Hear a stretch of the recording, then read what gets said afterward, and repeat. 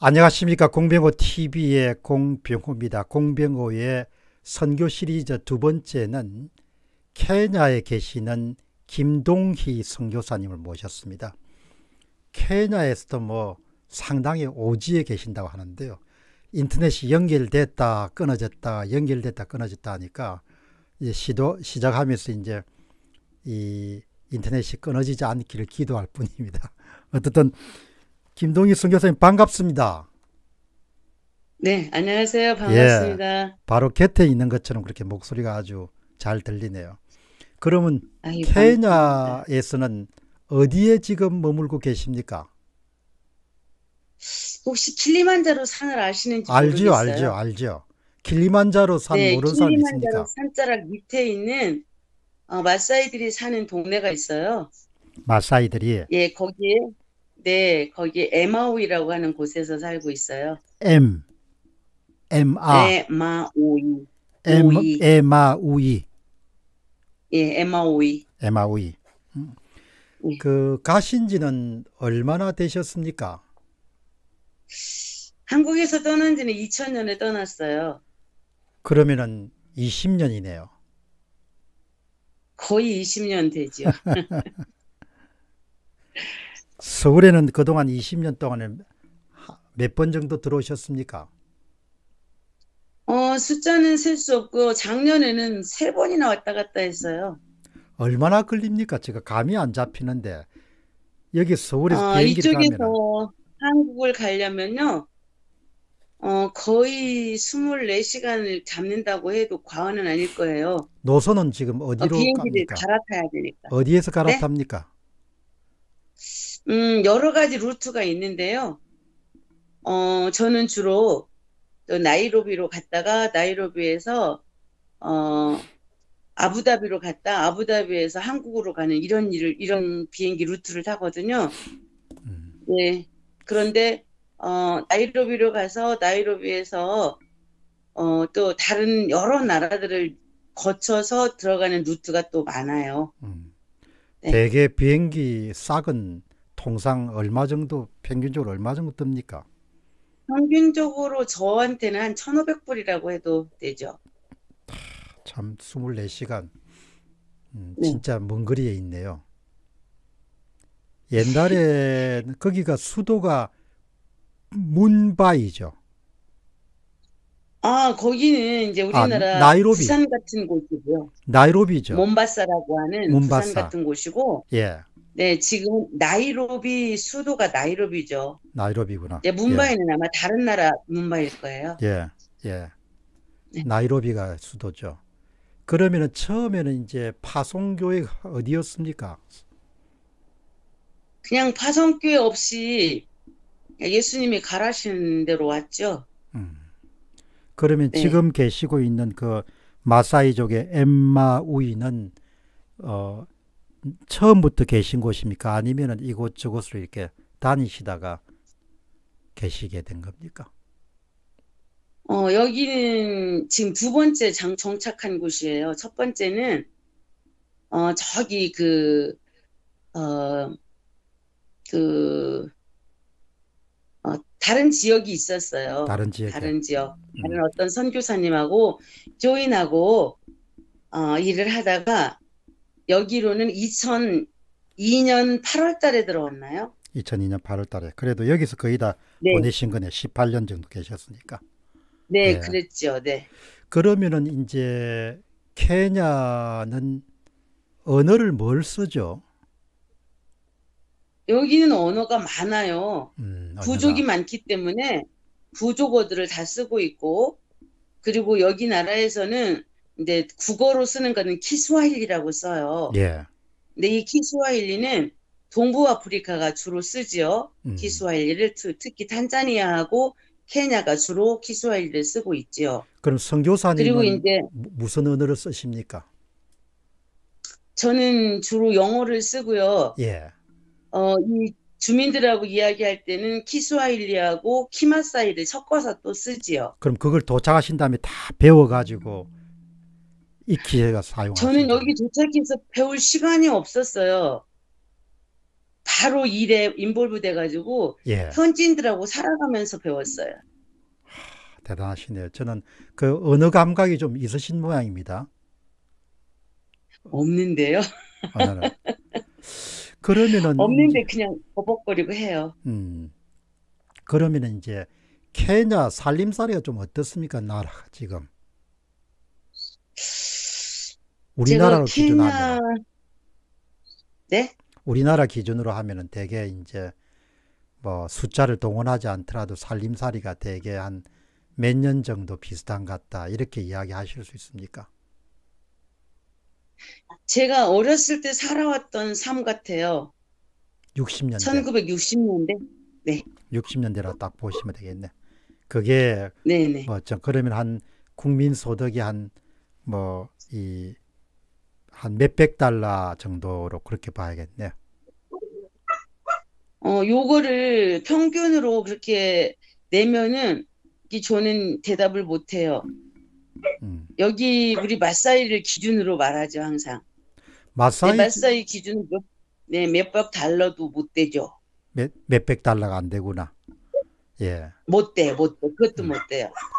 그러면은 예, 여기는 그 정치적으로는 좀 어떻습니까? 2018년도에 케냐 대통령 선거에 부정 선거가 있기도 했는데 그거는 좀 아십니까?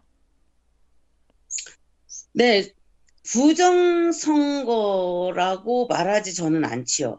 어떻게 이야기합니까? 국민들이 뽑은 대통령이 우후르인데 그 옆에서 치고 오신 그분이 부정선거라고 떠들어서 자기가 또 케냐 대통령이다라고 선언도 했었고 음, 그랬었죠. 근데 제가 보는 면에서는요, 부정선거가 아니에요. 음, 어, 자기들의 자 부족들이 모여서 이 사람을 우리 대통령으로 세운다 해서 자기들이 뭉친 거지 음, 국민들이 선거한 것은 지금 우후르 대통령이라고 저는 보아요. 음. 그 이제 미국의 미시간 대학교에 이제 월터 미베인 교수가 이제 조사를 한 거는 이제 그런 아마 부정 선거 그런 학술적으로 그런 증거가 있었다고 네. 이렇게 이야기하. 어떻든 뭐 그 문제는 이제 그렇게 정리를 네. 하고 있죠. 그러면은 케냐의 전반적인 전국 정치적 안정이나 이런 거는 지금 상황이 어떻습니까? 좀 안정적입니까? 아니면은 제가 보는 대로 얘기해야 되겠죠? 그럼요, 그럼요. 전체가 아니고 그건 학자 일이니까 느끼시는 거는. 네. 예, 제가 보기에는요, 어, 정치적으로는 떠들 수도 없고, 그냥 안정되게 살아가야 되는 나라 같아요. 음, 여기는 그 자주 국가이면서도 어, 권력에 눌려 사는 백성들이니까요. 음, 그래서 아파도 아 소리를 못 내고 사는 곳이죠. 음. 제가 볼 때는요. 그럼 상당히 이제 정치적으로나 이런 부분에서 굉장히 좀 억압적이다 그렇게 느끼시는 거네요. 그렇죠. 음, 그러니까 어, 경찰 순경이 사람을 때려 죽여도 큰 소리 못 하는 그 정도. 사람이 죽어도 죽었다고 어, 항의도 못 하는 음. 그런 상황이죠. 밖에 짓는 개는 키우는 개입니까? 어, 네. 지금 제가 키우는 개가 밖에서 꽝꽝 짖고 있어요. 그러시구나. 어. 네. 그러면 이제 마사이족도 이- 이 부족이 굉장히 많죠. 네, 많아요. 음. 뭐 수십 수백 개 정도 됩니까? 마사이 부족에만도 한이 쉽게 되는 부족이 있죠. 20개 정도. 각 자기들 시족처럼 흩어진 사람들. 음. 네. 그러면은 제가 이제 좀 문의드리고 싶은 거는 이제 기독교가 전래되기 전에는 그 사람들의 고유 신앙이 있을 거 아닙니까? 그게 어떤 신앙을 고유 신앙은 이들이 예. 우리나라 무속 신앙과 같다고 할까요? 지금도 그걸 많이 믿어요. 음, 그래서 이 사람들은 그냥 하나님을 문구라고 얘기해요. 음. 저 지금 어, 키스와일리로는 선교사님 조금 그거 하실 수 있으면 조금 너무 이렇게 낮게 돼 있는데 조, 예, 조, 더 조금만 더 올리실 수 있습니까? 조금 더. 예, 오 좋습니다. 조금 더. 예, 조금만 더 올리시면 예, 됐습니다. 아주 좋습니다. 됐습니다. 예, 아주 아주 와, 완전합니다. 예, 계속 해 보시죠. 네. 어, 이 사람들이 말하는 키스왈이라고 하는 언어 속에서 하나님을 뭉구라고 말하고요. 예, 우리 마사이는 엥가이라고 말해요. 예, 그런데 이들이 말하는 뭉구와 엥가이가 우리가 믿는 아브라함의 하나님, 다윗의 하나님, 어, 뭐 이삭의 하나님, 다니엘의 하나님 이런 하나님이 아니죠. 예, 예, 그냥 하늘님이죠. 우리 한국에서 말하는 하늘님. 음, 그런데 그 하늘님을 이제 우리가 믿는 예수 그리스도 하나님으로 변화시키고 있는 게 이제 여기 마사이들의 사정이죠, 지금. 음, 지금 사정입니까? 네. 그러면 이제 옛날에 조금 더 조금 더 이렇게 또 올라가게 너무 많이 내려왔습니다. 예, 조금 더 올리셔가지고 예, 그 내려가지 않도록 조금 더 올리시죠. 예, 예, 조금 더 올리셔가지고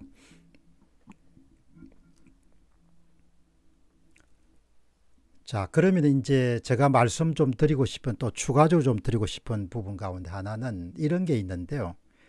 그러면 이제 지금 우리도 옛날에 기독교가 전래되기 전에는 뭐 바위에도 신이 있고 바, 물에도 신이 있고 뭐 그다음에 뭐 길에도 신이 있고 여기저기 신이 다 있다고 그렇게 믿었지 않습니까? 그게 되게 원시 부족들이 갖고 있는 그런 일종의 종교관이죠. 그죠? 그거하고 비슷하다고 네. 이렇게 보면 되겠네요. 그렇죠. 이 사람들 이제 다른 부족에 대해서는 제가 언급할 수가 없죠. 모르니까. 예. 근데 우리 마사이 부족은 뭐 소똥을 하나님 섬기듯이 산더미처럼 쌓아놓고 섬기고 음. 뭐 짐승들도 아주 자기들이 생명보다 더 짐승을 더 귀하게 여기는 음. 우리가 말하는 하나님보다 더 사랑하는 건 하나님이니까 예. 이렇게 믿으면서 살아가고 있어요. 음. 지금 선교사님이 이렇게 저 핸드폰을 잡고 있습니까? 아니면은 뭘 이렇게 기대 놓고 있습니까? 저희는 깃에 놓을 것도 없고 제 손으로 잡을 수밖에 아, 없어요. 그래, 그러니까. 그게 하시구나. 앞에 뭐 책 같은 거 이런 거 놓을 수 있는 데는 없습니까? 네, 있어요. 지금 책상에 앉아 있어요. 어, 그러면 앞에 책을 가지고 이렇게 좀 딱 기대 놓으시면은 되- 이렇게 됐나요, 지금? 예, 예, 그러, 그 정도면 됐습니다. 더 이상 변하지 않도록. 네. 음. 자, 그러면은 이제 그 기독교가 이렇게 들어와서 지금은 이제 마사이족 전체 중에서 복음을 받아들이신 분이 대개 한 몇 퍼센트 정도 됩니까? 대개 얼추 그냥 퍼센트를 따지면 열 사람 가운데 여기 사람들, 여기 사람들은 예, 제가 있는 곳의 중심으로 보면은 한 2,000명에 한 500명 이면은 어, 얼마 정도? 40% 정도, 한 40%. 33% 예, 정도. 예, 예. 2,000명 그 가운데 1,000명이면은 50%고 500명이면은 25% 정도 되네요. 네, 그 정도 25%. 되네요. 상당히 복음화가 네. 많이 진행이 된 거네요. 그렇게 된 거예요, 지금. 그럼 마사이족에게 저희 교인만 해도 한 500명 되니까요. 아 대단하네요. 그러면 그 복음화가 진행된 게 오래됐죠. 그게 영국 식민지였습니까? 어디였습니까? 영국 식민지였었죠. 그래서 캐톨릭이 주로 하고 있죠, 캐톨릭이. 그러면 전체적으로 카톨릭 인구가 케냐에는 아주 많겠네요. 어, 보통 사람들 크리스천이다라고 얘기해서 뭐 denomination이 뭐냐라고 물으면 Catholic이다라고 하는 사람들이 참 많아요. 음, 많고. 저는 퍼센테이지로는 말 못하겠고요. 네. 아, 그러니까 개신교는 거기에서도 그렇게 많지 않은 소수에 불과하고 다 이렇게 보겠는데요. 그렇죠. 네네. 그러면 네네. 그렇게 이제 마사이족 내부에 그런 그 믿는 사람하고 믿지 않는 사람의 뭐 갈등이나 이런 건 없습니까? 마사이들은 그런 거 없고요. 어, 마사이들은 어, 싸우는 걸 싫어해요. 그래요? 그래서 잘 안 싸워요. 어. 그렇지만 사냥 같은 건 상당히 잘하는 부족 가운데 하나지 않습니까?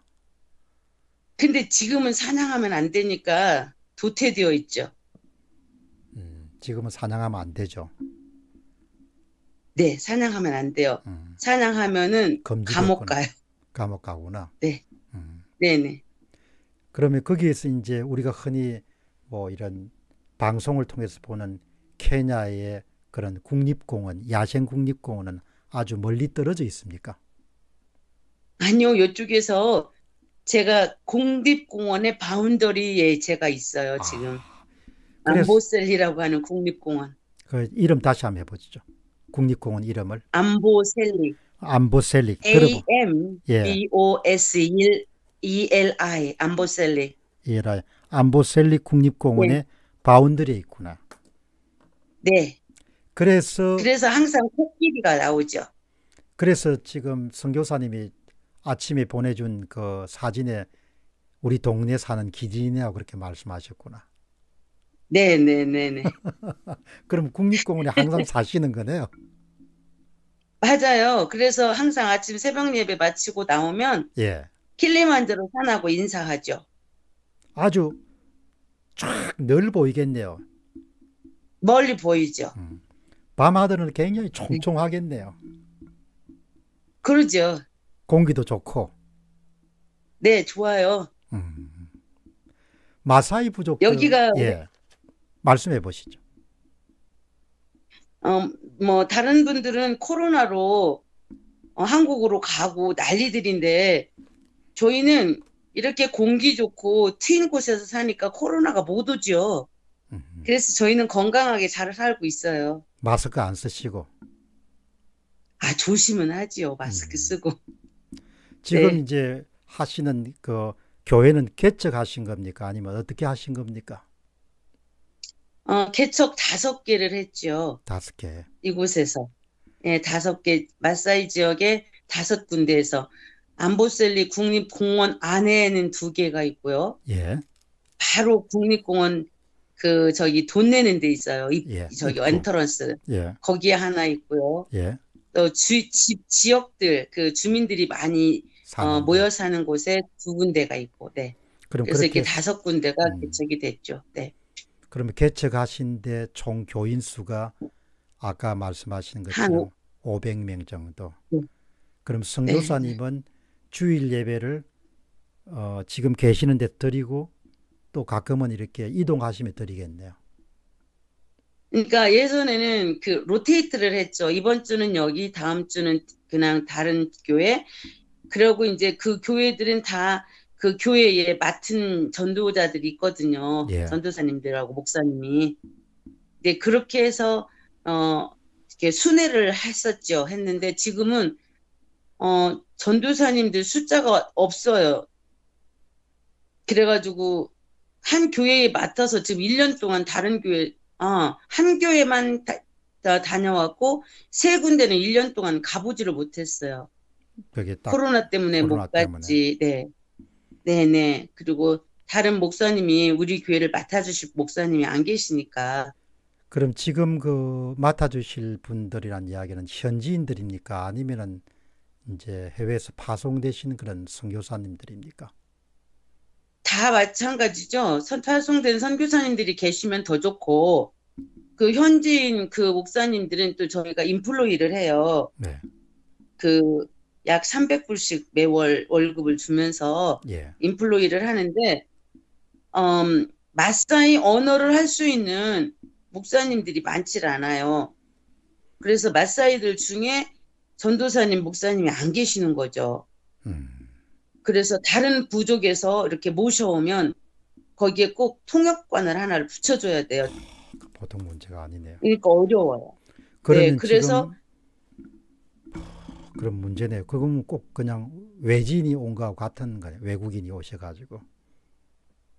네, 그러니까 한 분씩 한 분씩 현지인 그 목사님들을 맡겨야 돼요, 교회를. 그래야 제가 이쪽 교회도 다니고. 현지인 목사님이 오셔야 제가 이쪽 저쪽 부를 수 있는데 지금 현지인들로는 현지인 목사님 한 분이 나갔어요. 예. 네, 그래서 어 제가 못 움직이고 있어요, 1년간을 지금. 음.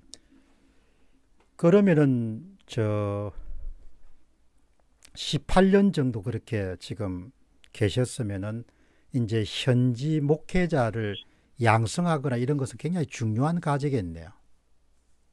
지금 이제 양성했던 사람들 중에 한 사람이 어 자기가 더 어른이 되고 싶어서 나간 거죠. 음, 예. 근데 저하고 아들처럼 엄마처럼 이렇게 살았는데 음, 회의가 있을 때 이- 저희들은 일주일에 한 번씩 이 목- 전도사님 목사님들이 모여서 설교를 일원화를 시키거든요. 다섯 교회가 모두. 예, 예. 네, 그러니까 매주 화요일 오전에 모여서 하나님 말씀을 서로 나누는데 오고 하는 것, 그, 꼭 지시받는 것 같은가 봐요. 그래가지고 자기 바빠서 못 온다고 이러더니 나중에는 나갔어요. 음, 좀 굉장히 네, 그래서, 좀 마음이 아팠겠네요. 오랫동안 정성을 들여서 키웠으니까. 어, 신학대학도 여기서 다 가르쳤죠. 그리고 안수 받을 때 다 들어가는 비용이며 가원이며 다 여기 미션이 해줬죠. 음, 네, 그래서 이제 키워서 내보, 내보낸다 생각하고 그- 나름 그럼요. 편안한 마음으로 예, 보냈습니다. 그래, 네. 그렇게 생각하셔. 예. 네. 그러면 지금 이제 그런 그 교회를 건축하고 이런 과정에서 이제 또 소요된 헌금 같은 게 많이 필요했을 건데 그런 것은 되게 어떻게 조달하셨습니까?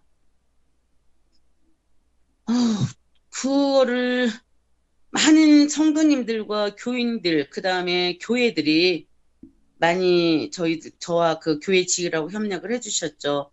지금 마지막으로 저를 도와준 교회가 그 수지에 있는 대광교회 있어요. 예. 근데 그 대광교회 목사님이 마지막으로 교회를 어, 이렇게 그 저거 하라고 음, 마, 마무리하라고 돈을 그분이 다 보내셔서 마지막 교회 지었어요. 음, 이게 예전에 거기에서는 소똥교회로 예. 어, 집을 지어가지고 교회를 예배를 드렸었는데 지금은 이제 어, 그냥 일반 건물처럼 지어서 거기서 예배를 드리죠. 음. 소똥교회가 아니고 이제는요. 음. 지금 말씀하신 소똥교회란 것은 그런 게 공간이 없고 그냥 야외 교회를 말합니까? 아니에요. 소똥으로 집을 지어요. 소똥으로. 네.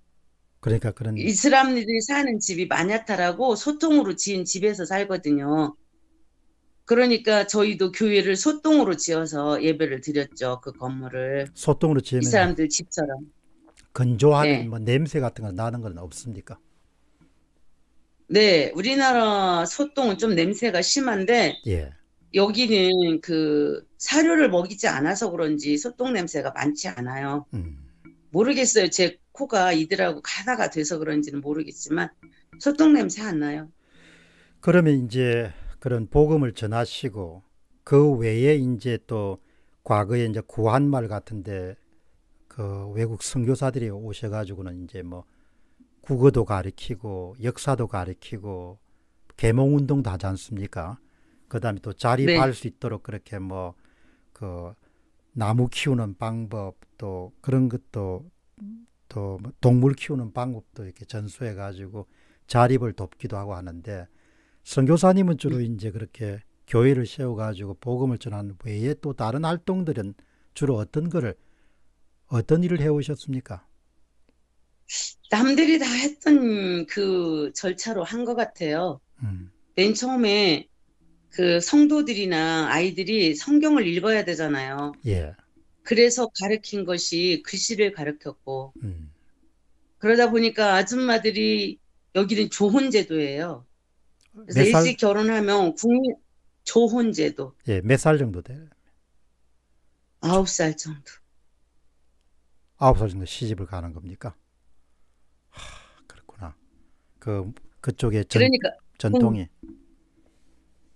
국민학교 졸업도 못하고 시집을 가면 어 글씨도 모르고 못 읽고 자기네 나- 나라 말도 못하고 음.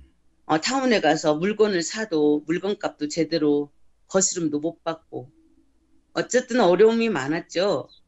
네, 그런 것을 볼 때 옛날 우리 조상들이 어, 선교사님들을 만나서 글도 배우고 했던 것처럼 음. 저도 그것 하고 있고요. 음. 선교사님들이 또 고아도 돌봤잖아요. 그럼요. 똑같이 했죠, 그렇게. 네. 그러니까 여기는 또 에이즈가 많아요. 음. 그래서 에이즈로 남자가 죽으면 여자도 죽을 거고 그럼 아이들이 남아요. 그럼 고아가 많거든요. 음. 근데 한 남자가 죽으면 과부가 셋, 네 명이 생기는 거예요. 일부 다처제니까. 음. 그럼 그 많은 부인 슬하에서 나온 아이들은 고아가 되죠. 예, 보통 그래서 고아도 돌보게 되고 선교사님 조- 조금만 돌보게 되고. 조금만 더 올리시죠. 돈 많이 내려왔습니다. 예, 조금 더. 아예 좀 더. 예, 됐습니다. 예, 이제 오늘 방송하는 동안 올라갔다가 내려갔다 그렇게 했는데 저 목이 좀 안 좋아가지고 목이 좀 안 좋았어. 아 그러면 그 참 그런 이야기들은 이제 우리가 알 수가 없으니까 그 그런 말씀을 해 주시니까 참 야, 우리도 옛날에 우리도 뭐 그렇게 첩 첩제도도 있고 그랬지 않습니까? 그죠? 네, 그러니까 네, 우리가 네, 네. 19세기나 뭐 20세기 초역까지 겪었던 그런 문제를 물 부족 같은 문제는 없습니까? 여기는 물이 전적으로 물이 부족하죠. 그래서 아프리카 물을 어떻게 합니까? 그거를.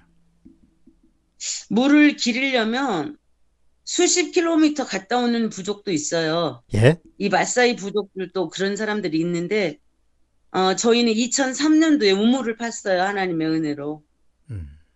그래서 여기 주민들이 어, 이 사람들 하는 얘기가 문구 있고 문구 있고 그렇게 얘기를 해요. 예. 그 이야기는 하나님이 계셔. 하나님이 계셔 그 얘기예요. 그래서 하나님이 계셔서 여기 선교사 보내줘가지고 우물 팠다고. 그래서 이 사람들이 문구 있고 문구 있고 이렇게 얘기를 해요. 음. 그러면서도 교회는 안 나와요. 음. 그 그리고 여자들은 교회 나와도 남자들은 나오면 안 되는 걸로 알고 있어요. 조선조 말기하고 똑같네요. 네, 그- 맞아요. 그렇게 생각하셔야 되겠네요. 우리 조상들이 겪었던 네. 거하고 비슷한 게. 예. 네.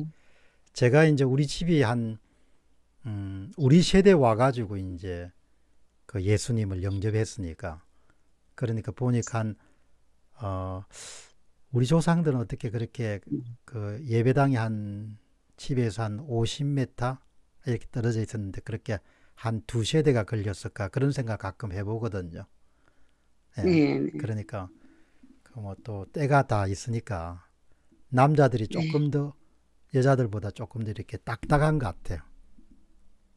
네. 그 구한말에 제가 이름도 없이 빛도 없이라는 그런 미국 선교사들의 활동기를 책으로 낸 적이 있는데 그때 이렇게 조사를 네. 하다 보니까 그 기독교가 전래돼서 기여한 바가 참 많지만 그 당시에 질곡에 시달리던 조선과 구한말의 여인들을 그 숨통을 틀어준 거예요.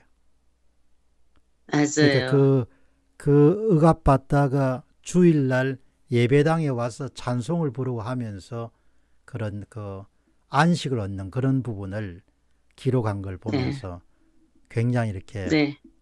눈물을 흘릴 정도로 그렇게 그 사람들도 네. 마찬가지지 않습니까? 세상에 네, 많은 맞아요. 많은 종교가 있지만 그 종교 가운데서도 기독교는 특히 여성들에게 우호적이고 평등을 굉장히 강조하지 맞아요. 않습니까?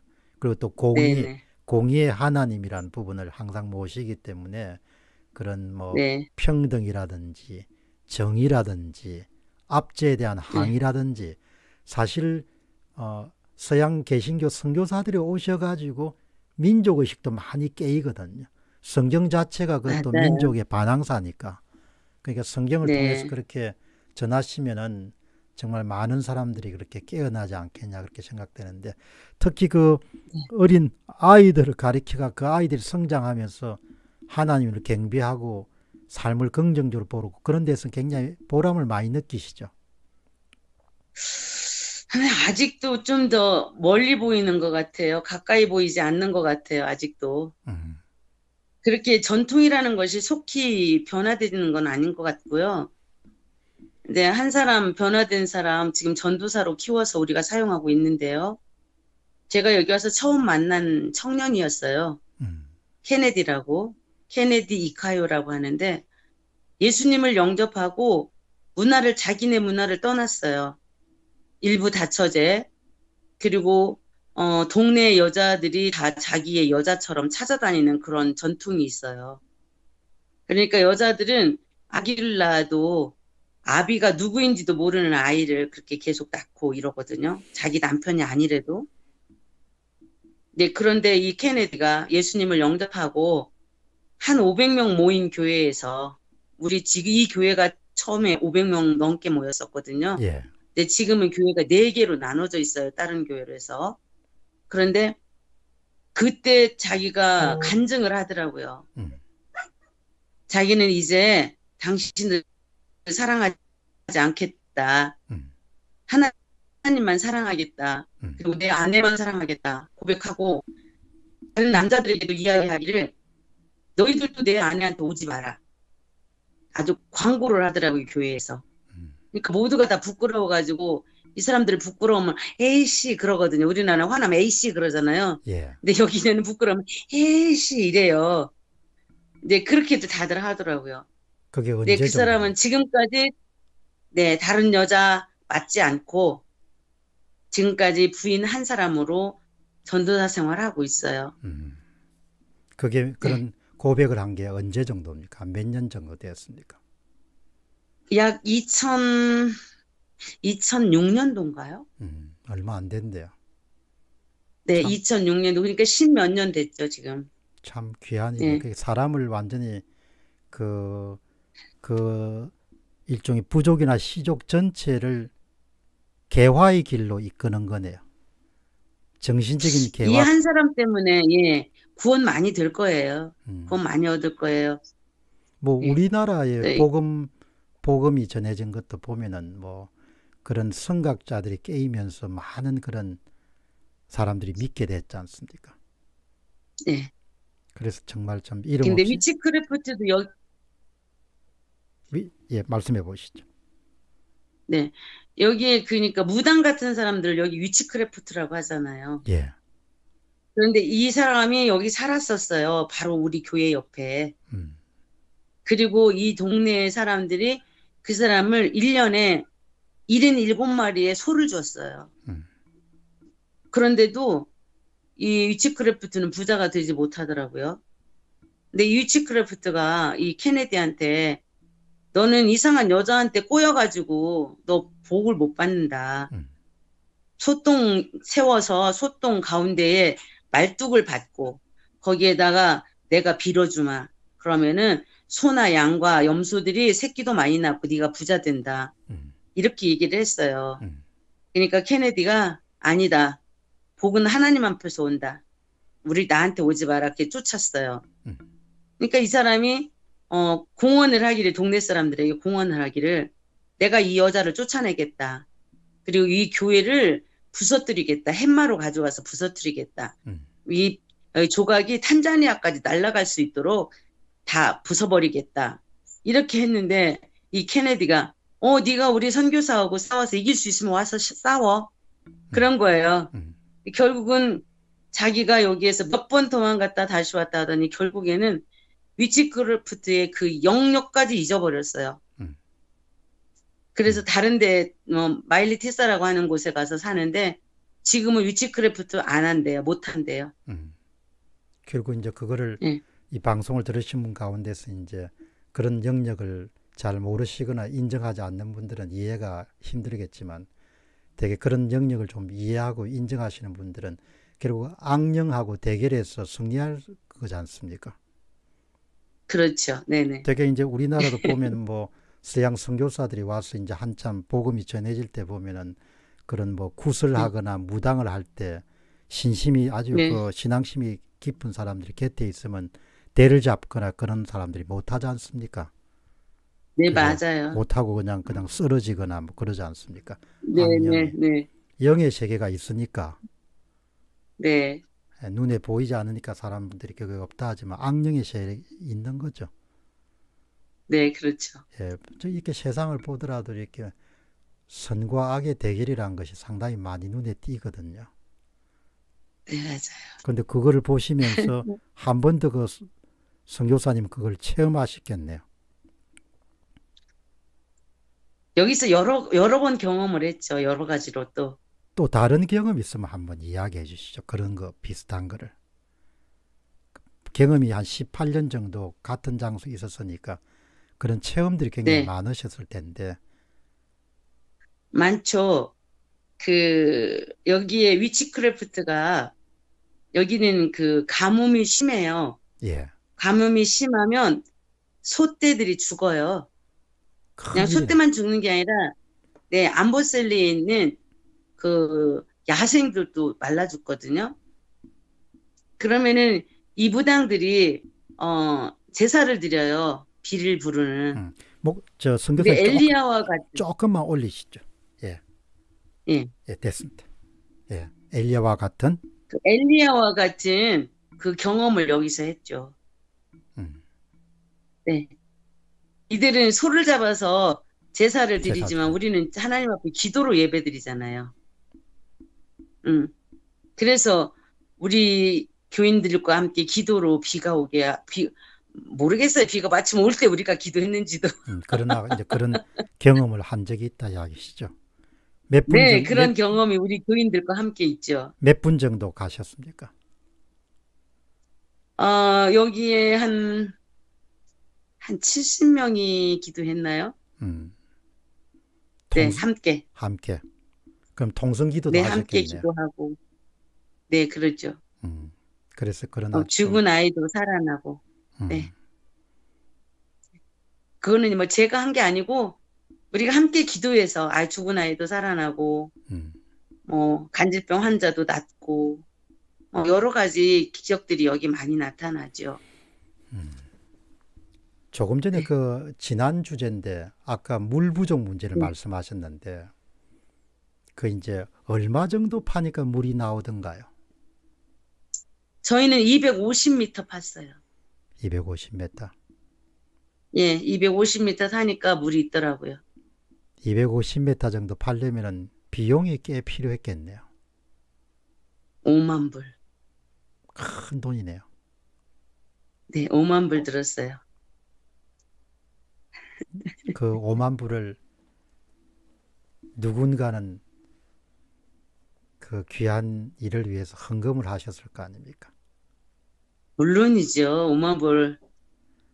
예, 지금 그 말씀 들으니까 이번에 그 코로나가 덮쳤을 때 대구가 타격을 많이 받았지 않습니까?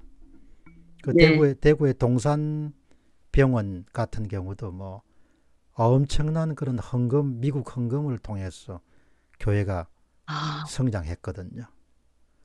그리고 네. 그 거기에 파송됐던 미국의 선교사 출신 분들이 그 그 뭐 엄청나게 많은 그런 헌금을 요청하는 그런 편지를 보내고 뭐 대한민국 세브란스도 음. 마찬가지고 이화여자대학 병원도 네. 마찬가지고 다 그렇지 않습니까? 네, 그러죠.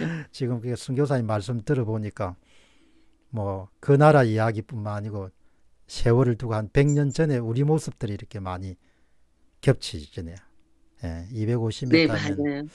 참 음. 그런데 힘들지는 않으십니까? 힘드냐고 물으시면은 제가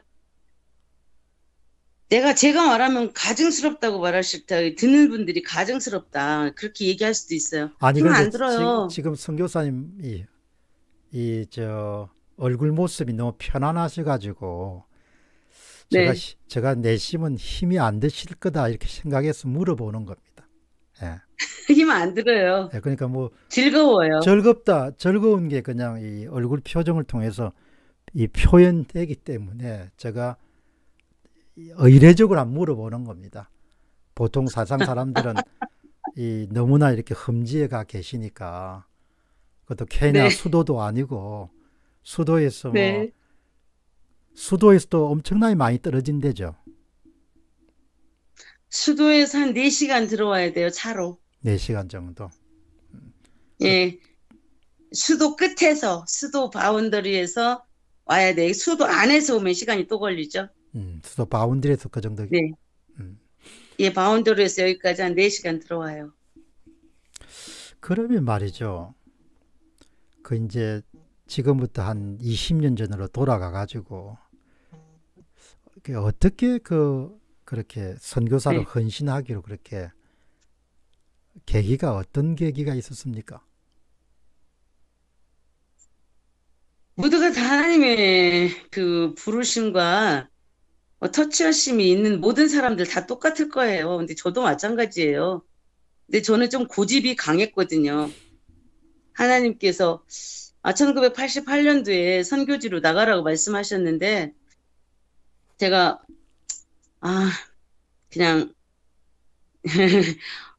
순종 못했죠. 네, 좀 봐주라고. 그러다 보니까 난딴 사람 내 보내죠. 근데- 저는 음, 근데 2000년 1월 1일 날 그 구리에서 송구영 신예배 마치고 서울 도, 도봉동에 있는 언니 집으로 잠을 자러 갔어요. 음, 그때 이제 구리에 있는 선교교회에서 제가 봉사하고 있었는데, 어, 근데 그때 잠자려고 하는데 하나님께서 네 딸 버리지 않으면 네 딸의 생명을 내가 걷어갈 것이다. 이렇게 말씀하시는 거예요. 음. 이제 얼마나 놀랬겠어요. 바로 입을 뒤집어 쓰고 울었죠, 울고. 나를 데려가지 왜 죄 없는 딸 데려가느냐고. 그런데도 하나님은 내 딸 버리지 않으면 네 딸의 생명을 걷어가리라 이렇게 말씀하시는데 그게 바로 선교지로 떠나라는 증거였어요. 말씀이셨어요. 음, 그래서 많은 계기가 있고 짧은 시간에 그 얘기 못 하고요. 음. 근데 그런 계기로 어, 제가 이쪽으로 나왔습니다. 2000년도에. 그럼 그 당시는 출석교회가 어디였습니까? 어, 그때는 구리 선교교회 전도사로 있었어요. 음, 구리 성교교회. 그러니까 기본적으로 이제 뭐 네. 파송될 수 있는 기본적인 기초적인 훈련은 다 이렇게 준비가 돼 있었는데. 준비 안 되는데도 하나님 사용해 주신 거예요. 예, 그렇게 두 가지 방식이 있다는데 완벽한 준비한 다음에 보내는 방식이 있고 그냥 오지에 떨어뜨린 다음에 그냥 훈련을 통해 가지고 만드시는 방법이 있다고 그러는데 어쨌든 간에 그런 계기를 그럼 그 당시도 이제 보면은 뭐 대부분 이제 많은 경우가 특정 교회나 교단을 통해 가지고 이렇게 파송되는 형식인데 좀 이례적인 경우네요. 네, 저는 그냥 하나님께서 가라시니까 남편이 저기 후원자가 되어가지고 남편 놓고 왔죠. 남편 놓고 그리고 2007년도, 네, 2007년도부터 어, 인천 만수감리교회가 있어요. 예. 인천에. 그 만수 감리교회에서 저를 파송해 줬죠. 음. 역으로 된 거네. 네, 지금 저도 파송 교회가 있는 선교사예요. 그런데 참, 아, 그렇게 결단은 일생에서 가장 큰 결단 가운데 하나였겠네요. 그렇죠. 그럼 그때 이제 딸아이가 몇 살이었습니까? 그때 딸아이가 중앙대학교 1학년이었어요. 음, 그렇게 뭐 좀 다 크기는 컸네요. 근데 그때 코- 꼭 엄마 손이 필요할 때지요. 그때. 여자로서. 하, 근데 걔를 놓고 온 거죠. 남편 되신 분이 뭐라고 하던가요? 남편은 말 못해요. 남편이 항상 하는 얘기는 난 내 아내를 말리지 못한다고. 하나님이 우선이니까 한다고 하면 하는 여자니까 못 말린다고. 뭐 선교사님들 모시면 다양한 이야기들이 나오겠지만 옛날에 60년대 내가 크던 시골집 생각나네요. 지금 바둑이 소리 들으니까 네, 저희 집이 예, 우리 한국에 어, 서울에 있는 미아리에 있는 판자 쪽 판자 판자집 저, 저기 판자 뭐라고 하죠? 판자집촌이라고 하나요? 판자촌. 아, 판자촌이라고 음, 하나요? 네. 음. 뭐 그런 것처럼 우리 살아요. 그래도 우리 여기는 왕궁이에요. 소똥집이 아니니까. 음. 그, 저희는 소똥집에서 안 살아요. 그 슬라브 왕궁 같죠. 슬라브 집에 삽니까? 아, 네. 슬라브죠. 비가 오면은 음악 예. 소리가 얼마나 크고 그렇죠, 좋은지 그게. 몰라요. 비가 예. 오면은. 그 예, 요즘에 유, 떨리고요. 유튜브 들어가면 슬라브에 떨어지는 빗소리를 또 다 유튜브 영상들이 있고 하니까 그럼 지금은 이제 네. 따님도 이제 나이가 한 40대 네, 40. 음, 그러면 이제 지금은 그 뭐 페이스북이나 카톡 같은 걸 통해 가지고 대화도 나누고 그렇게 하시겠네요.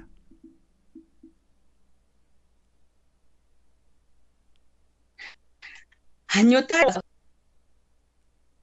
그러시구나. 케냐로 들어왔어요, 딸이. 예? 아들도 들어왔고요, 딸도 들어왔고요. 온 가족이 다 왔어요. 조금만 더 올리시죠. 언제 왔습니까? 예, 남편도 들어왔고요. 그렇습니까? 언제 다 들어오셨어요? 어, 남편은 제가 한국 떠난 지 한 4년, 3년인지 확실한 기한은 기, 기억은 안 나는데요. 음, 어, 여자가 잘 사는지 못 사는지 보자라고 왔는데 너무 험악한 곳에서 살고 있으니까 자기가 다 정리하고 들어왔어요. 뭐 웃자니 우- 웃음이 나오는데 참 네. 그렇네요. 그럼 아이들들은 학교 졸업하고 다 들어온 겁니까? 어, 아들은 제가 여기, 케냐에서 학교 졸업했어요. 음, 음, 그렇겠네요. 그, 그렇게 되면은 음, 네. 그리고 그- 딸은 이제 한국에서 학교 마치고 졸업하고 결혼하고 음, 그리고 어, 작년 거의 1년 다 지났는가 봐요. 음, 1년 지났네요. 가장 이제 여기 왔어요. 예, 가장 이제 얼마 안 된 그런 그런 경우네요. 예. 네네. 그럼 네. 이제 또 한 가지 이제 그렇게 해서 부르심을 받아서 이제 오게 됐다는 건데 그 세상에 많은 네. 나라 가운데 왜 케냐로 왔습니까? 어, 그 얘기 참 길은데 어떻게 이- 이렇게 이, 이, 뭐 이- 그냥 저 말할 수한 있을지 모르겠어요. 짧게 이야기 그냥 뭐 다 말씀하시기 힘드니까 예를 들면 뭐 네. 그 나라에 대한 어떤 사전 정보가 있었다든지 아니면은 뭐 본인이 그 No. 간단하게 No, no, no, no. 예, 맨- 만약에 제가 이 케냐에 대한 정보가 있었다면은 아마 여기 안 들어왔을지도 몰라요. 안 왔을 것이다. 네. 여기 상황을 미리 알았더라면 저는 케냐 안 오거든요. 왜냐하면 고집이 있고 예, 불순종이 잘하는 사람이라서. 예, 근데 하나님께서 등을 밀듯이 그렇게 하셔서 어, 여기를 아무런 뭐 리서치도 못하고 없고. 사람도 없고 네. 근데 여기에 계시는 어느 선교사님, 이렇게 저하고 맨 처음 조인한 선교사님을 통해서 이게 들어오게 된 거죠. 음, 그리고 살다가 여기 보니까 정말 내가 불순종했기 때문에 이 나라까지 왔구나. 이렇게 생각을 할 정도로 음. 예, 그런 나라예요. 음, 그러나 지금은 행복해요. 행복하고 여기까지 불러주신 하나님께 감사하고요. 음. 예. 한국에서 살을래, 여기서 살을래, 그럼 저는 여기서 살겠다고 말하고 싶어요. 음. 그러면 지금 네. 이제 그 선교 사역이나 이런 부분을 이렇게 하시면서 이제 사람은 또 네. 자기가 어떤 활동을 할 때는 그 특히 어려운 일을 할- 해 나갈 때는 물론 뭐 자기는 또 쉽다고 하지만 세상 사람들 눈에는 험한 일이나 힘든 일을 해 나갈 때는 그 자기 나름대로 어떤 그 비전이 있을 거 아닙니까? 이 활동을 내가 이렇게 하기 때문에 해야겠다 그런 생각을 하는데 그런 것을 좀 이렇게 오늘 방송 보시는 분들이 알아들을 수 있게 설명하면 어떻게 어떤 뜻을 가지고 이렇게 그런 복음을 전하는 일을 지금도 계속하고 계신지 음. 이제 첫 번째는 어려서부터 제가 국민학교 5학년 때 하나님 앞에 선교사가 되겠다고 약속을 했었어요. 5학년 때 네, 국민학교 5학년 때. 그런데 살아오면서 어, 남편을 만나고 결혼하고 어, 선교사를 잊어버리고 살았었죠. 근데 하나님께서 저에게 다시금 그 생각나게 해주시더라고요. 그 음, 미국에 계시는 그 정사무엘 박사님이라고 하는 목사님이 청지기 운동을 그 저기 뭐야 한번 벌렸었어요. 음. 어, 약 30, 30, 30년 전인가? 음. 그 후에 그 정도 돼서. 그래서 거기서 제가 훈련을 받는데 그때 제가 집사였었는데요. 니네가 집사냐? 밥 먹고 돼지 밥 싸다. 이러시는 거예요. 밥만 먹고 돼지 밥 싸지 너네가 집사냐? 이렇게 얘기를 하시면서 종이 한 장에다가 하나님 앞에 지금 가지고 갈쓸거 쓰래요. 가, 뭐, 내가 무엇을 했노라고 쓰래요. 음. 열 가지를. 한 가지도 쓸 게 없는 거예요. 내 것이 아무것도 없잖아요. 다 하나님 거잖아요. 음. 그 종이 놓고 펑펑 울었어요. 그때부터 다시 제 마음에 약속했던 것을 다시 기억났었어요. 그래서 제가 33살에 어, 그 신학을 다시 시- 신학을 하게 됐어요. 음. 그래서 그래서 신학 근데 공부를 그 성삼 박 네, 신학 그 공부를 정삼일 박사님이 어디 계신지 모르겠어요. 이 방송 나가면 아마 연락될 수도 있을 겁니다. 예, 이 방송이 엄청 힘이 세가지고 방송 나가면 네. 뭐 20년 전에 헤어졌던 사람들도 전화 오고 이렇게 하니까 예, 방송할 필요가 있습니다. 음. 그, 그분이 그래요? 일종의 이제 큰 어떤 그 계기를 제공한 거네요. 네네. 그래서 오래전에 그걸 서원이라고 합니까? 그렇지 하나님 앞에 서원한 거죠. 말하자면. 서원한 거를 다시 일깨우게 된 것이 그 이제 정사무 네. 사무엘 정사무엘. 네. 정사무엘 목사님이 깨워주신 거네요. 네. 음, 네네. 그래서 다시 또 원위치를 항로를 이탈해가지고 또 원위치를 하신 거네요. 그러니까 그때가 이제 보면은 결혼하시고 난 다음에 되게 신학대학원을 가실 때가 되게 얼마 정도 됐을 때입니까? 그때가 1980, 80몇 년. 결혼을 몇 년에 몇, 몇 살에 하셨습니까? 제가 26에 했거든요. 26세 했으니까 한 결혼. 7년 정도 되네요. 33살에 신학 네. 공부를 했으니까. 그 네, 7년 네, 돼서 네, 이제 네. 신학 공부라. 그 대단하시네요. 그래도 그 하게 그게 뭐 무슨 계획이 하나님이 계획이 있으셨기 때문에 그렇게 했겠죠. 7년 하고 그 다음에 이제 케냐로 떠나게 결심한 것이 몇 살 때입니까? 음, 케냐, 그니까, 어, 제가 졸업을 1992년도에 졸업했을 거예요. 예, 예, 예. 신학교를. 예. 예. 그리고는 2000년도에 여기 왔으니까요. 음. 예. 그러니까 이제 오실 때가 되게 이제 연배가 얼마 정도였습니까? 그때가 마흔, 확실한 그 나이는 잘 모르겠고요. 40대 한 중후반입니까? 마흔 다섯이었나 여섯이었나 마흔 다섯, 마흔 넷? 음. 그 정도였던 것 같아요. 제가 그 말씀을 물어보는 게그 네. 그 이화여자대학교를 창립, 창, 설립하신 감리교 그 목사님 성함이 어떻게 되죠? 스크랜턴입니까? 예, 그 목사님 같은 경우는 50대에 50대 어. 이렇게 가장 고령자로서 조선에 오신 거 아니에요. 그것도 그냥 오, 미국에서 의사가 돼가 잘 사는 아들을 데리고 오신 거 아니에요. 예. 그래서 남대문에 음. 상동교회를 세우고 정동교회를 아, 세우고 이화여자대학을 어, 네. 세우고 그 다음에 아시죠? 네. 거기 저 뭐고 무슨 또 이화여자대학교 의과대학도 다 그 아드님이 벤슨 스크- 스크랜턴 스크랜턴일 겁니다. 벤슨 스크랜턴이라는 분이 네. 세운 거죠. 그러니까 뭐, 뭐, 우리 세상 사람들 눈으로 보면 계산이 안 나오는 거죠. 지금 케냐로 떠나실 때보다도 20세기, 그 19세기 말엽에 미국인들, 미국에서 출발해 가지고 조선을 떠나는 것은 훨씬 더 열악한 상황이었을 거 아니에요. 그죠? 예. 그러니까 정말 참 그런데 비하면 다 어, 선교사님도 이렇게 오지에 계시지만 지금은 그래도 이렇게 뭐 얼마나 대단합니까? 뭐 화상으로 그죠? 옆에 있는 것처럼 대화를 나눌 수가 있으니까. 네, 네, 음. 네. 그러면 말씀이죠. 음, 네. 지금 이제 제가 이제 여기 유튜브 방송을 이제 이게 주로 정치 논평을 많이 하거든. 정치 경제.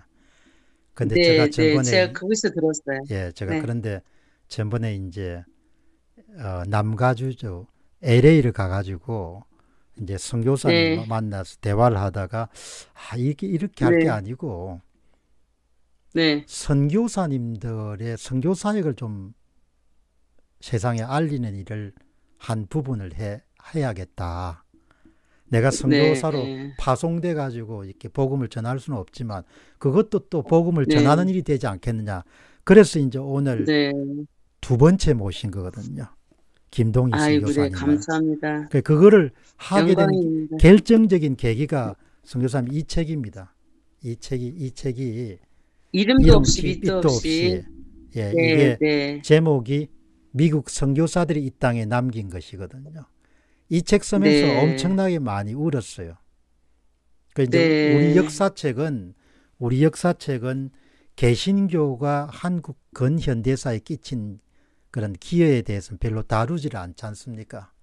근데 그걸 안- 우리도 학교 다닐 때 안 배웠으니까 그런데 이제 50줄의 책을 쓰면서 공부를 하게 된 거예요. 한국의 네. 개신교가 한국 사람들을 계몽시키고 개화시키는데 어쩌면 대한민국을 세우는데 이성문이라는 인물을 뭐 선교사들이 거의 키우다시피 했으니까 그걸 깨우친 거예요. 그러니까 네. 이 책을 쓰면서 이제 저도 그 복음에 대해서 크게 눈을 떴고 그 다음에 이제 이게 또 기초가 돼 가지고 아 그러면 내가 책에서는 19세기 말엽부터 해방까지 미국 선교사들이 이 땅에 기여한 것을 다뤘으니까 그러면 이제 우리나라가 네. 지금 두 번째로 많이 파송하는 국가니까 그럼 이 네. 방송이 있으니까 이걸 통해 가지고 세계 오지에 뭐 아마존부터 시작해서 오지에 계신 분들을 이렇게 좀 알려드려야겠다 그렇게 생각을 하거든요. 그러면은 감사합니다. 예 그러면은 뭐 여기 보면 뭐 거의 뭡니까 한국의 근대화된 것은 대부분 이 사진에 나와 있듯이 그냥 대부분 선교사들이 남긴 거거든. 예. 그래서 이제 우리가 오늘 뭐 이 땅에 그냥 이렇게 복음이 씨앗을 뿌려가지고 이제 그 과실을 수확하고 있는 거죠. 그런 거를 우리 이 땅에 사는 사람들이 잘 기억하면은 싸움도 좀 잘 안 하고 좀 정의로운 나라, 훌륭한 나라를 건설할 수 있을 건데 지금 이제 선교. 선교사님이 지금 케냐에서 하는 거가 그런 그 네. 그야말로 그 후일의 과실을 수확할 수 있는 그 기초를 뿌리는 거죠. 일부 다처제를 하고. 정령 신앙을 가지고 그러면 그 음, 정신 세계가 악에 의해서 지배가 돼 있는데 어떻게 잘 살 수 있겠습니까? 잘 살 수가 없는 거죠. 예. 맞아요. 그러니까 그 선교사님들이 오셔가지고 우리가 반 양반과 상놈에 대한 그런 개념들이 많이 깨지지 않습니까? 네. 그러면 지금 이제 정확하게 오늘 이제 이 선교 이 방송을 보시는 분들에게 지금 이제 그 정확하게 위치 그 다음에 또 뭐 뭐죠 또 교회 명칭 이런 부분도 좀 이렇게 네. 좀 알려주시죠. 네. 예, 그렇게 뜻- 어, 그래 사람들이 궁금해할 거란 말. 예, 예. 네. 김동희 선교사님, 예, 말씀하시죠. 어, 조금 더 위로 올리셔가지고, 네. 예, 조금, 어, 예, 그, 또박또박 이야기해 주시죠. 되나요? 예, 괜찮습니다. 아주 좋습니다. 하시죠.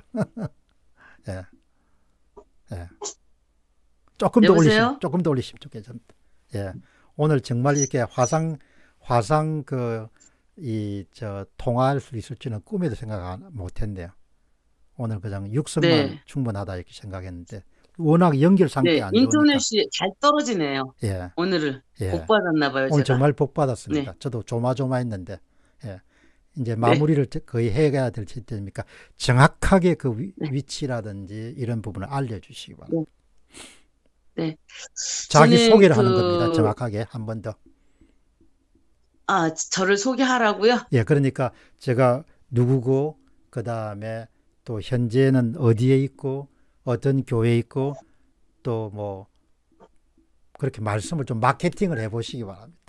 예, 네, 그러겠습니다. 마케팅을 아, 저는 어, 김동희 선교사라고 하고요.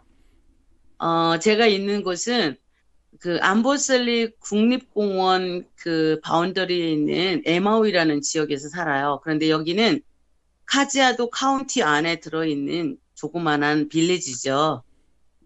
어, 그리고 어, 저를 그 파송해 준 교회는 인천 만수 감리교회가 파송 교회로 되어 있고요. 이제 여기 교회를 시작하게 된 거는 덕천에 있는 고창 덕천에 있는 시골 교회 장로님이 교회를 짓도록 기반을 대주셨어요. 그래서 이 교회를 어, MOE 덕천 교회라고 우리가 이름을 불러요. 지금 네 그렇게 하고 있고요. 어, 여기에는 여기에 오시면은 혹시 오신다면 암보셀리에 있는 킬리만자로 산 눈을 만, 만년설 녹아져가는 만년수를 만년설을 볼 수 있고요. 여기에 오면은 또 어, 우리들이 깊이 빠져들 수 있는 호수가 있어요. 그 호수가 어떤 호수냐 밝은 호수인데 아이들의 눈 속에 있어요. 그게 음. 아이들 눈이 얼마나 맑고 예쁜지 눈 속으로 빨려 들어가요 사람들이. 네, 네 그래서 여기서 교회 사역과 학교 사역과 고아들, 과부들 돌보는 사역과 그다음에 이제 여기 지역 사회에 물 공급하는 것도 하고요. 어 그리고 이제 제 남편이 농대 출신이에요. 그래가지고 아. 여기서 음. 여기서 농사를 지어가지고 아이들에게 야채를 공급해주고 있고 또 남편을 통해서 이 사람들에게 농사를 가르쳐 주고 있고. 그래서 여기 사람들은 그러니까 어어그 노매들을 뭐라고 해야 되는지 모르겠어요. 어, 떠돌아다니는 사람들, 어, 물 찾아다니고 풀 찾아다니는 이런 사람들인데 농사를 지어서 좀 이렇게 그 어, 안정되게 말씀도 배우고 할 수 있도록 그래서 지금 갓이 뭐야 어 어, 거, 어, 컬티베이트, 어, 농사도 가르쳐 주고 있고, 어쨌든 여러 가지를 하는, 해야 하는 거라면 다 그냥 하고 있어요. 음. 네. 그리고 여기 이제 또 어느 선교사님이 와 계시는데요. 한 선교사님이 계세요. 저는 여기 한국인이 저하고 이 선교사님하고 두 사람, 내 남편은 뭐 하나니까 이렇게 사는데 그 선교사님은 그 전북대학교 병원에서 20년 넘도록 근무하시던 간호사 선교사님이 여기 오셔서 지금 6년째 봉사활동하고 계세요. 보건소를 운영하면서. 의료 선교하시는 거네요. 네, 여기서 같이 하고 있어요. 대단하네요. 네. 그래서 엄청나네요. 저희 사역을 통해서 어, 좀 하나님 예수 그리스도 이름이 많이 알려졌으면 좋겠어요. 예. 믿는 사람들이 많았으면 좋겠어요. 아이고, 참. 네. 내가 방송을 끝내려고 했더니 또 질문을 마저 안 하면 후회할 것 같아가지고 또 바깥 분이 그렇게 농가대학을 나오셨네요. 네. 그러면 거기 오셔가지고 활동하면서 마사이족이 경제적으로 자립할 수 있도록 그렇게 농사 기법이라든지 이런 부분도 많이 함께 개발하고 그렇게 하셨겠네요. 아이고 실패하고 성공하고 실패하고 성공 많이 했죠. 음. 많이 하시고 지금 현재로도 가장 현재는 가장 크게 성공했다고 하는 거는 바나나 농장을 이 척박한 곳에서 이루었다는 거 하고요. 몇평 그다음에-? 아주 크게 네? 바나나 농사가 예, 우리 예, 우리가 한 10에이커 정도 할 거예요. 바나나 농장이. 그럼 현지인들한테 고용할 기회를 주잖아요. 아, 고용 기관도 있, 저, 기, 저기, 기회도 주고, 소득도 고용하는 그 직, 직장을 얻을 수 있는 기회도 주고, 그럼 또 그거를 해가지고 또 이 사람들에게, 네, 생산해가지고 어, 소출을 농사를, 어, 10에이크의 농사를 지어서, 10에이크의 바나나 농장을 바깥분이 오셔가지고 실패 실패하다가 이렇게 반석에 올렸네요. 네, 성공해서 세팅됐어요. 네네. 아, 대단하네요. 네, 그래서 여기 현지인들이 지금 농사 짓는 것을 배우고, 그래서, 어, 이제 시작을 하려고 해요. 현지인들도 농사를 짓는다고. 그래, 실패를 하지요, 이 사람들. 왜냐면, 이렇게 농사를 지으라고 씨앗을 저희들이 대주기도 하고, 그런데 심었는데 갑자기 가뭄이 와요. 그럼 다 말라버리잖아요. 그럼 이 사람들 다시 실망하고 다시 농사 안 하려고 해요. 그런데 지금 현재 한 대여섯 명이 밭을 좀 갈아달라고 자기네들 또 콩농사를 짓겠다고 그래서 지금 저희들이 지금 고민하고 있어요. 바깥분 성함은 공개하는 거가 그렇게 그거 하십니까? 아니면은 뭐 지금 뭐, 한- 세월이 함자 얘기하는 거야 뭐 어렵겠어요? 말씀을 해주시죠. 바깥분이 성함이 참제 훌륭하시네요. 남편은 이자, 문자, 호자예요. 이문호 씨. 네, 이문호 네. 씨. 그러면은 10에이크면은 제가 또 이제 궁금한데 14만 평. 세상에 안에 14,000평? 한 14만 평 정도 될 것 같은데 12에이크면 14만 14,000평인가요? 어때 그 10에이크란 원 이야기죠. 에이커. 네, 14,000평이네요. 14,000평. 14,000평. 그건 나중에 계산해 봐야겠습니다. 그런데 기본적으로 그러면 네. 예. 물이 없는데 어떻게 그 바나나 농사가 됩니까? 저희 물 팠다고 했잖아요. 250m 물 팠다고. 그거는 시, 시- 식용뿐만 아니고 그렇게 농사에도 활용합니까? 네, 하. 그러면 그게 이리게이션 하는 거예요. 음, 그, 그러니까 그 배수로 같은 걸 만들어 가지고 그러면은 그게 언제 시작돼가 언제 정착이 그럼 굉장히 그 선교사님은 그 이제 바깥 분이 하시는 그 활동이 또 이 선교 사역 하는데 크게 도움이 되겠네요. 힘이 되고. 그러죠. 그러죠. 우리 아이들이 거의 300명 정도 되는데 예. 그 아이들에게 그 과일을 다 대주고 야채 다 대주고 그러죠. 음. 언제부터 자리를 좀 잡았습니까? 바나나 농사. 저희들이 약 바나나 농장이 어 2014년도에 완전히 세틀 됐다고 말해도 되죠. 있죠. 그러면 얼마 정도 시행착오를 했습니까? 그러니까 거의 한 10년 정도를 시행착오를 하고 했죠. 네네네.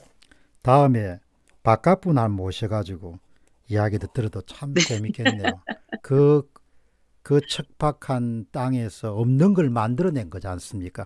그 전에는 바나나 농사 같은 경우가 마사이족이 한 적이 없죠. 그 부, 부근에서 없죠, 여기는요. 지금도 우리밖에 없어요. 없고. 그럼 그분들은 소출이 어, 12,240평이라고 하네요. 이게 딱 계산해 줍니다. 지금 어, 예, 이 듣는 분들이 옆에 딱 댓글을 제이리 님이 만 10에이크니까 12,240평입니다. 이렇게 정확하게 네, 이야기합니다. 요즘에는 뭐 네, 네. 이 들으신 분들이 또 집단적으로 지식을 대주니까 음, 그냥 한 10년 정도 시행착오를 해가지고 2014년부터 네. 자리를 잡은 거네. 그럼 마사이족들은 네. 그 지금 하는 농사 가운데 가장 큰 소출이 나오는 농사가 어떤 농사입니까? 뭘 제, 재배합- 소, 가- 소하고 염소. 소하고 염소. 음, 네. 소하고 염소다. 뭐 이 사람들은 예, 우유 짜서 먹고 사니까요, 우유. 음. 네. 그러면 기본적으로 그렇게 야채 같은 게 부족하기 때문에 조금 수명이 짧겠네요. 맞아요. 수, 수명이 짧아요. 예, 동물성 음식을 계속 이렇게 섭취하는 거니까. 네. 그래 그런 면에서 이제 조금 전에 말씀하신 야채를 경작해서 아이들한테 제공한다는 말씀을 제가 굉장히 이렇게 주의 깊게 들었거든요. 그러면 네네. 그 바깥 이문호 선생님 같은 경우가 이 저 바나나 농사를 하시면서 동시에 또 야채 농 야채를 기, 기르는 일을 하, 동시에 하겠네요. 네네. 네네. 고구마도 심고요. 아 근데 그게 야생 동물도 많고 해가지고 그게 보통의 일이 아닐 것 같은데. 아, 코끼리들이 와서 다 밟아놓고 가면 또 해야 되고 이래요. 세상에. 아니 여기 참 그래서 우리는 재밌어요. 그 경작지에 와가지고 자기들로서는 얼마나 좋겠습니까? 자기가 먹고 싶은 걸 잘 키워 놓으니까. 그 그럼 그때 뭐 네, 그. 자원 같은 게 풍부해가지고 무슨 뭐이 모든 그 넓은 땅을 다 무슨 그 저 펜스 같은 걸가 두를 수도 없고 그럴 건데 하, 네. 이 보통이 아니시네요. 어떻든 참 두 분이 그렇게 해서 어, 선구자 자세를 가지고 이렇게 개척하셔가지고 오늘 아마 이 방송이 들으시는 분들 가운데 굉장히 많이 도전이 됐을 겁니다. 언제 이제 오늘 바깥 분 들어오시면 공박사가 바나나 어, 저 농사 개척기에 대해서 한번 듣고 싶다고 하는데 당신 한번 나가서 이야기 하겠냐 하면 꼭 물어봐 주시죠. 그러면 이제 그러겠습니다. 선교사님이 보시는 거하고 마사이 부족의 선교사로 활동하는 아내를 모시고 살면서 바나나 농사하고 경작지를 개발해 가지고 마사이족을 돕는 일을 하는 것도 선교사역의 일환이지 않습니까? 맞죠. 선교사 일이죠. 구한말에 우리 선교사들이 많이 들으셔가지고 쉽게 선교도 하니까요. 그분 다시 이야기해 보죠. 그게 조금 전에 무슨 말씀하셨습니까?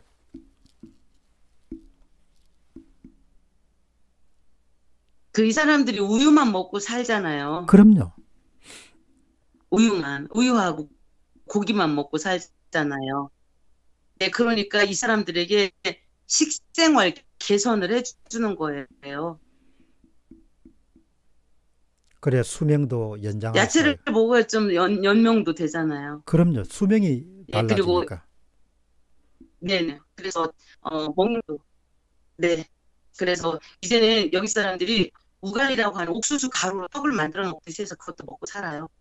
음. 옛날하고는 많이 달라졌어요. 그것도 네, 이제 그래서 지금은 그것도 새로 그렇게 농작물이 가능했기 때문에 옥수수 가루를 가지고 식생활에 활용하기 시작한 거네요. 아니에요. 원래 옥수수는 이 케냐의 주산물, 주식, 주식이에요. 우리나라 음. 쌀이 주식이듯이. 음. 네, 그런데 여기 마사이들은 돈이 없으니까 옥수수를 못 사다 먹었었죠. 음. 근데 지금은 옥수수도 사다가 먹고, 어, 우유도 마시고, 또 야채도 먹고, 과일도 이제 저희들이 주일날 오면 공급도 해주거든요. 이제 음. 주일날 과일도 먹고 그래요. 음. 참그 정말 선교사님이 우리말로 하면 신랑덕을 톡톡히 보시는 거네. 맞아요, 맞아요. 한국말로는 시집 잘 간 거죠. 예, 케냐로 그냥 날아가 버린 그냥 예, 아내 때문에 그냥 본인이 그 뜻에도 없던 케냐로 오셔가지고 그냥 그렇게 해서 음, 선교사 네. 동력 동력하는 사람이 됐네요. 자, 그럼 이제 진짜 네, 마무리 맞아요. 마무리하는 의미에서 네, 그 한국에도 믿지 않는 분들이 참 많지 않습니까? 네네. 그리고 또 기독교에 대해서 좀 이렇게 반감을 가지신 분 계신데 이제 신앙생활 하신 지가 한 오래 되시던 거의 모태신앙과 같지 않습니까? 어린 시절부터 믿었으니까. 네네네. 그러면 이제 네, 해외 선교만 하지 마시고 지금 이제 이 방송을 이제 한국 계신 분들 많이 들으시니까 하나님 믿으십시오. 네. 예수 그리스도 믿으십시오에 대해서도 좀 이 마케팅을 좀 해보시죠. 네. 아니, 저는 하나님을 모르고 사는 분들이 참 대단하다고 생각하세요. 저도 대단하다고 생각. 어떻게 아버지를 모르고 살 수 있으며 어머니를 모르고 살 수 있을까? 음. 그래서 난 그게 의문스러워요. 음. 그래서 하나님을 모르고 사는 게 무섭지도 않고 어떻게 두렵지도 않고 평안하게 사는지. 근데 그래서 일대일 만나면은 저는 아주 강하게 얘기를 해요. 음. 당신 죽으려고 사는데 죽은 다음에 어디 갈 건데? 이렇게 물어요. 제가. 음. 지금 잘 먹고 잘 사는 거 죽으려고 잘 먹고 잘 사는 거 아닙니까? 이렇게 음. 물어요, 제가. 음. 그러면서 결국 먹고 잘 먹고 잘 살고 잘 쓰고 즐겁게 놀다가 죽은 다음에는 그- 그럼 어디, 어디로 갈 건데요? 이렇게 물어요. 음. 네. 참좀 답답해요. 음. 안타깝고요. 음. 네, 그래서 이런 분들이 좀 이걸 보시면 저 같은 사람이 왜 이렇게 마사지 집까지 가서 저렇게 즐겁게 살까? 좀 의문을 좀 가졌으면 좋겠어요. 음. 왜 이렇게 사는지. 음.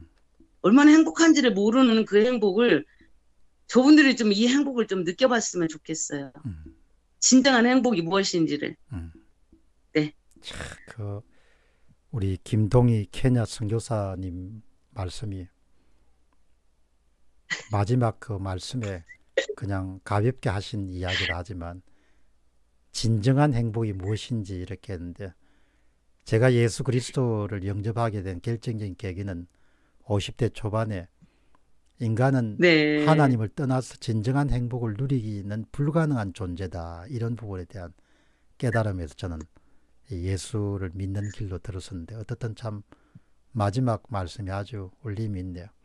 오늘 이- 오늘은 이제 이 정도로 하고 또 다음에 시간이 네, 지난 네. 다음에 한번 이제 오늘은 완전히 우리가 그냥 적극적으로 그냥 했는데 다음에는 좀 기획을 해가지고 이제 하고 그 다음에 이번에 보내주신 그 마사이 족들의 그 예배하는 모습은 재편집에가 실방 말고 또 재편집에 할 때는 집어 넣어가지고 조금 음, 음, 만들도록 그렇게 하겠습니다. 예, 꼭 그 바깥분 오시면 꼭 물어봐 주시기 바랍니다. 감사합니다. 예, 어쨌든 오늘 어, 선교사님 정말 고맙습니다. 시간 아, 네, 내주셔서. 그러겠습니다. 예, 건강하시고 예, 주안에 항상 승리하시기 바랍니다. 감사합니다. 예, 아멘. 예. 감사합니다. 자, 여러분 오늘 아주 그 뭐 이렇게 계획한 건 아니고 예, 급하게 연락이 돼 가지고 케냐에서 한 20년 정도 선교 사역을 하시고 또 바깥분 이문호 씨는 또 그런 10헥타르 정도의 바나나 농사를 이렇게 지어 가지고 또 다른 형태의 그런 선교 사역을 이렇게 행하시는 분을 모시고 오늘 방송 들었습니다.